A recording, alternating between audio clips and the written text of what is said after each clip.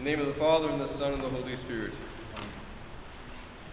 S praznikom, i. Dear brothers and sisters, I greet all of you on this feast, this joyous feast of the Dormition of the all blessed and most pure Mother of our Lord and God and Savior Jesus Christ, the ever Virgin Mary. Today, we celebrate her falling asleep. We celebrate her falling asleep and we remember from Holy Tradition how this event took place. How she used to come to the tomb of our Lord, the sepulchre in Jerusalem, and pray fervently every day. And one day the angel Gabriel came to her and announced that in three days she will leave this earth. She will fall asleep in death. And she returned to her place of residence and informed all of the disciples and all of those tending to her. You know, the Christian community in Jerusalem was a tight knit community.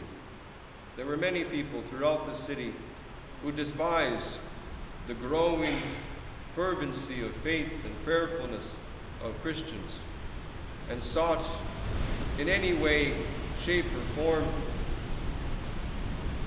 to prevent the Christian community from growing, from becoming strong.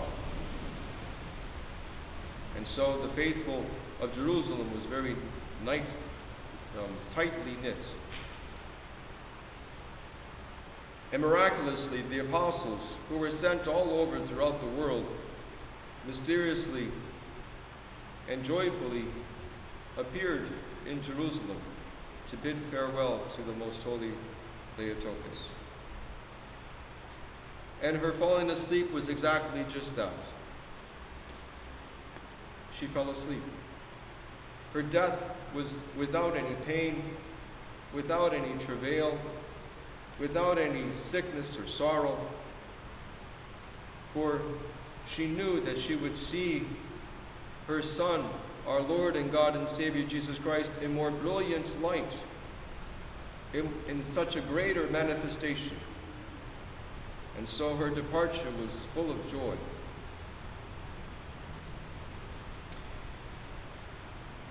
And St. Thomas the Apostle, who was delayed in coming to Jerusalem, made it to Jerusalem only on the third day. And the disciples, because of St. Thomas's sorrow for missing the event, opened up the tomb so that he may offer his last respects and prayers. And they opened the tomb and found that the body of the most holy Theotokos was no longer there. It was assumed up into heaven. Brothers and sisters, the most holy Mother of God gave birth to God, to Christ, the Redeemer of the world. In her womb dwelt the Word of God. And she was sinless. She had no personal sin. If we recall from Holy Tradition how she lived her childhood in the temple, learning a life of service and of sacrifice and of abstinence and of dedication. And she was given in betrothal to Joseph so that he would preserve her virginity in marriage. And she gave birth to the Son of God.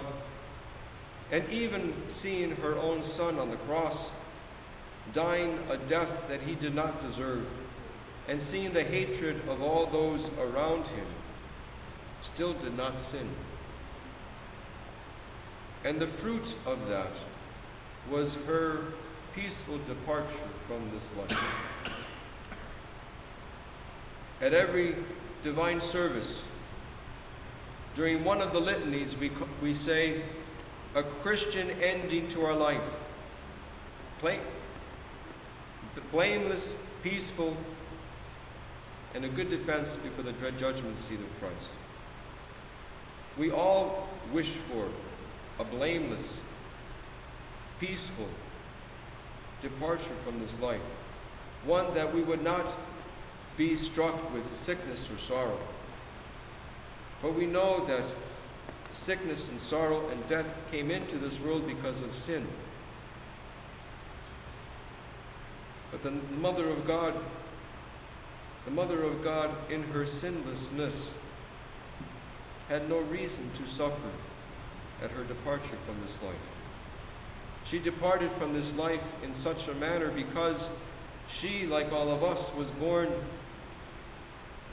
with the original sin of Adam and therefore had to humble herself to the separation of soul and body that happens at every death.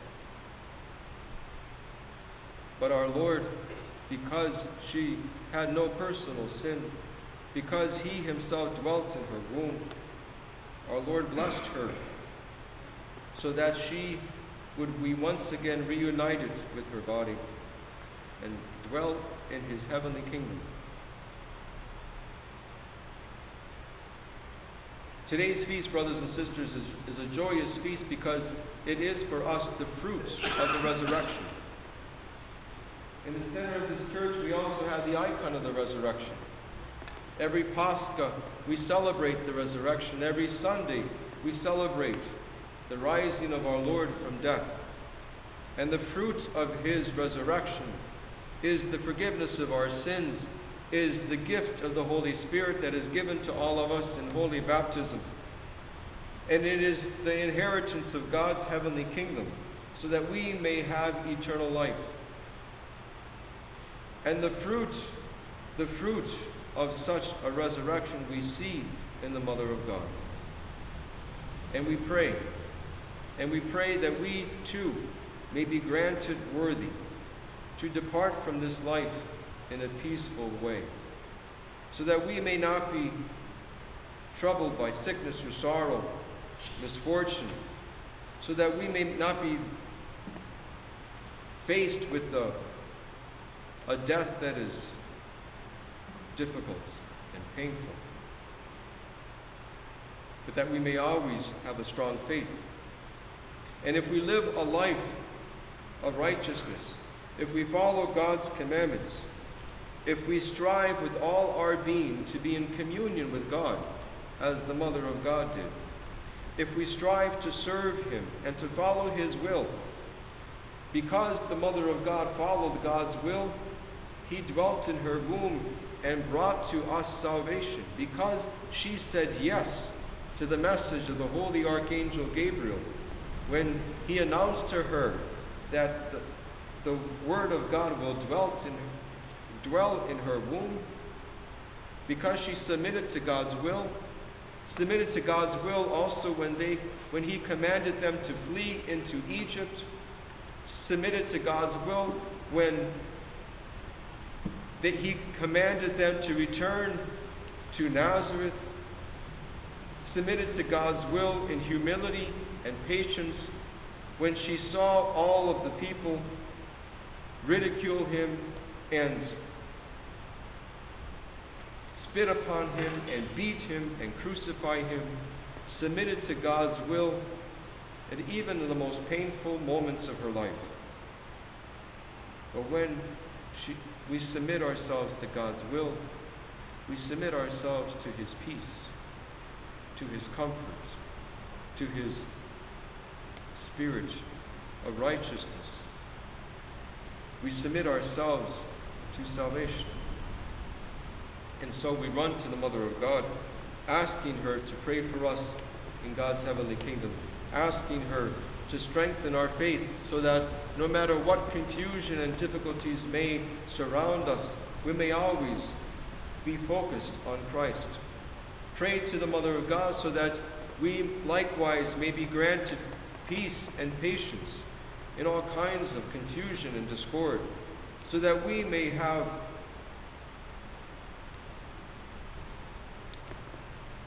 so that we may become a better dwelling place of God's Spirit, and in so doing, have peace in our life. Draw closer to God. Have peace with one another, love and patience, so that we may be granted, when it is our time, a peaceful, painless, blameless life, um, death, departure from this life, and be granted rest in God's heavenly kingdom, where the Mother of God dwells eternally, where all the saints and the angelic world glorify our Lord and God, so that we may be counted worthy members of that heavenly kingdom. Amen.